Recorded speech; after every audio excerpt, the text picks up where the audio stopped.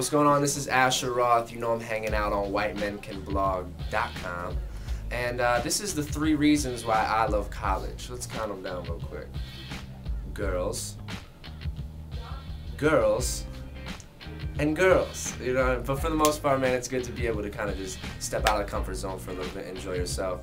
I like having cafeteria food when I'm all when I'm all nice, so I will say that all you can eat cafeteria food. But for the most part, women in sundress are the absolute reason that I love college.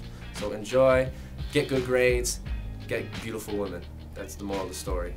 Peace, y'all. WhiteMenCanBlog.com. Asher Roth. WhiteMenCanBlog.com.